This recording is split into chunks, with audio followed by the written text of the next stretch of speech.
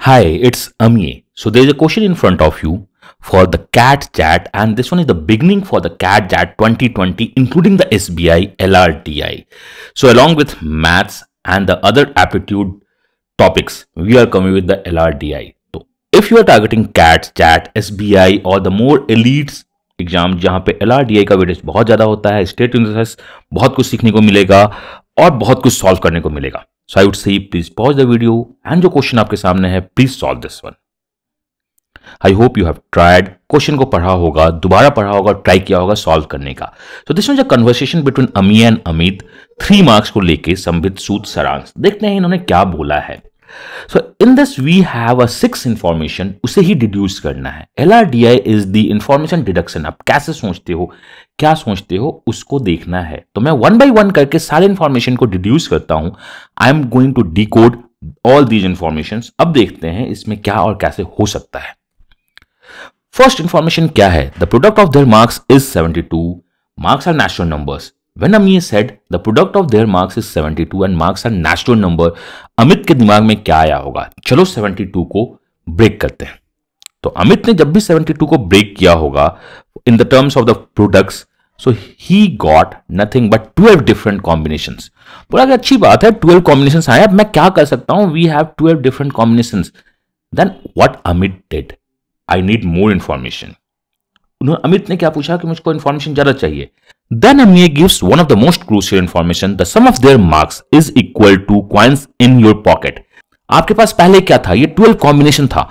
अमी ने एक इंफॉर्मेशन दिया कि बॉस अगर उनके मार्क्स को ऐड करोगे तो क्वाइंस इन योर पॉकेट और मार्क्स का समीशन सेम होगा। मतलब अम्मी को पता है कि आपके पॉकेट्स में क्या कॉइन है। अगर आप ऐड करोगे तो दोनों मैच कर जाएँगे। ये अम्मी को पता है।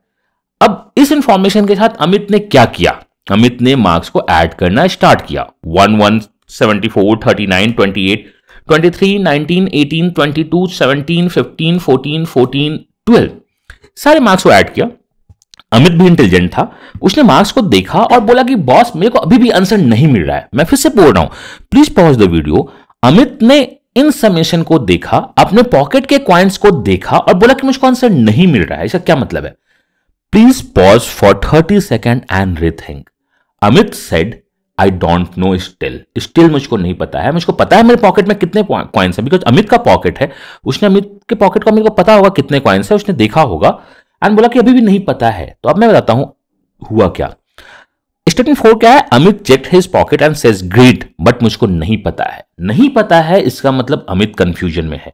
कंफ्यूजन का है इसका मतलब एम्बिग्यूटी है। एम्बिग्यूटी है इसका मतलब एक से ज़्यादा केस है। तो अब कॉलम टू, जिसमें सम ऑफ़ मार्क्स लिखा हुआ है, आप चेक करो, ऐसा कौन सा मार्क्स है जो दो बार दिखा है समेशन? अगर 74 फोर कॉइन्स उसके पॉकेट में होते तो उसको पता चल जाता कि 1172 है।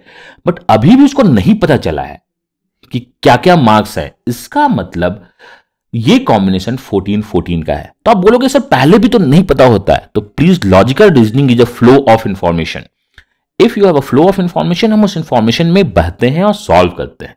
But still I need more information Amit ने जब पॉकेट चेक करके कहा तो अमित ने देखा होगा अपने पॉकेट में 14 कॉइन्स 14 कॉइन्स का दो कॉम्बिनेशन है देन वो कुछ आगे सोचता। तो इसका मतलब summation is 14 coins but still Amit ने बोला कि वो कंफ्यूजन में है तो अमी ने एक इंफॉर्मेशन दिया।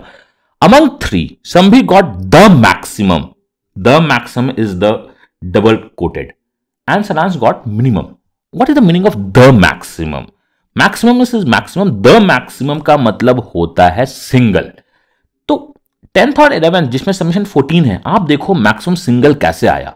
अगर आप टेंथ को देखोगे तो मैक्सिमम दो मार्क्स हैं सिक्स एंड सिक्स इलेवेंथ को देखोगे, जहाँ पे सबमिशन फोर्टीन है, वहाँ पे मैक्सिमम एक ही है एट इसका मतलब अमीए ने इंफॉर्मेशन दे दिया कि mark combination are three three eight and Sambit को एट मार्क्स मिले सरांश को थ्री मार्क्स मिले एंड सूद को three So, this was a flow, how we crack LRDI. LRDI is all about understanding the combinations of information.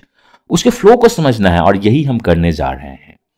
तो इसमें question क्या था? What is the marks of Sood in this test Sood का marks three है। आप flow को देखिए information को देखिए and in the examination you need all these information so we are going to practice more than 300 question in our course मैं open भी आपको करवाता रहूँगा। If you want to join the links are given in the description give your best मैं अपना best दूँगा। हम L को प्रैक्टिस करते रहेंगे और क्रैक करते रहेंगे। और इस कोर्स की सबसे अच्छी बात होगी कि मैं खुद से क्रिएट करूँगा ओल्ड क्वेश्चन सॉल्व करवाऊँगा। जितने क्वेश्चन हो सकते हैं वो करेंगे।